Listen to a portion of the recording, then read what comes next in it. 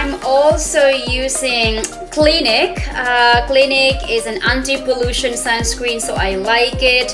It is SPF 40 PA++, and it says even better city block anti-pollution and it's also allergy tested 100% fragrance free formulated for all asian skin types so that's really great.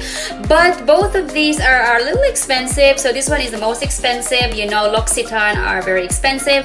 Clinique also not that cheap